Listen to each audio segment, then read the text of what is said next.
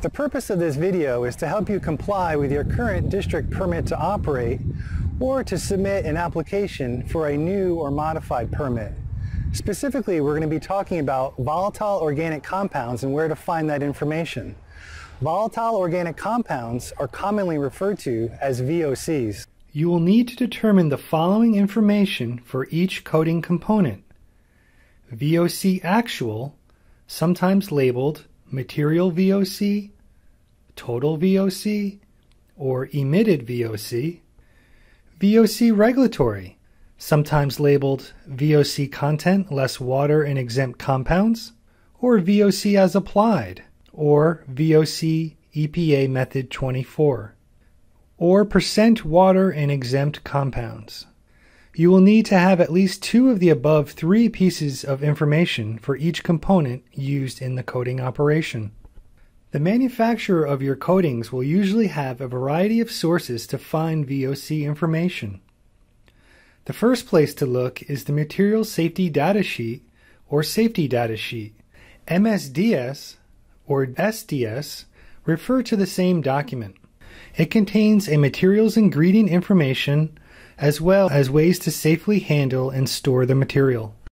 The physical and chemical properties section of an MSDS or SDS will typically have VOC information. This is usually section 9. If you can't find the information in this section, you may want to also check if there is a section called Regulatory Information, usually section 15 or 16. Another place you can look is a PDS or a product data sheet.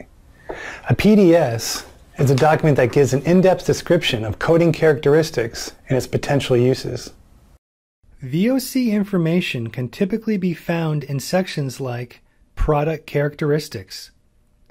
If your coating has more than one component, the PDS is typically a great resource of VOC information for the mixture. Another document you may look at is called an Environmental Data Sheet, or EDS.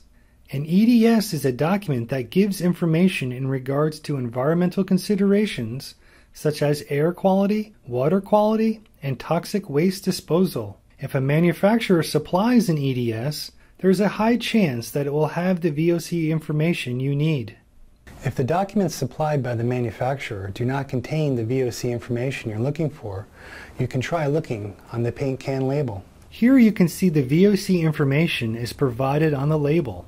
If you still can't find the VOC information on any of these places discussed, you will need to contact the manufacturer. Thank you for watching our video. If you have any questions about this video or any other video on our website, please give our business assistance line a call at 858 586 2656.